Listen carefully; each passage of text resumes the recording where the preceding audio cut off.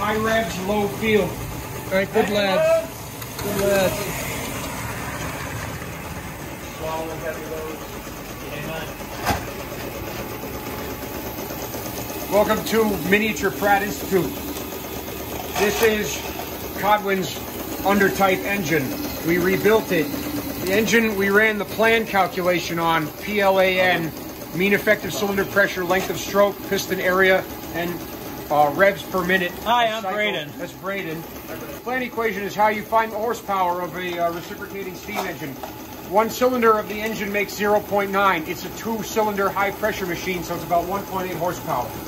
This is a Union Switch and Signal semaphore motor. This used to drive the big, heavy arms of railroad signals up and down.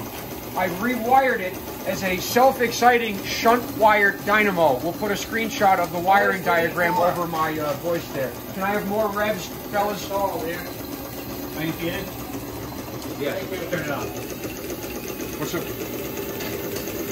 What was that drop? Yeah. Hey, hey, hey, let it go. Are you good? Yeah.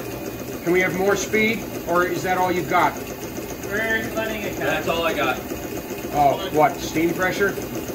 Yeah, but we are feeding for a All right, what we've got, as you just saw, we've got an electric railway being powered by this. These antique trains, these standard gauge trains, have series wound motors so they can run either on AC or DC. This, of course, is a Good man. DC machine.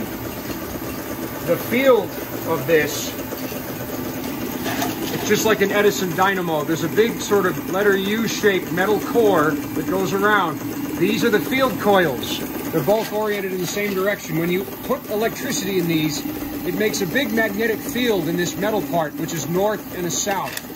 The spinning armature being driven by the engine, when you pass that through that electromagnetic field, it excites a current in the armature. The current is picked off by the commutator brushes, these guys here. The commutator are these rotating copper bars. If it was stopped, you would see individual bars separated by insulators. The first place the current goes is to my field rheostat. That controls how intense the electromagnetic field in the machine is and how much power it produces.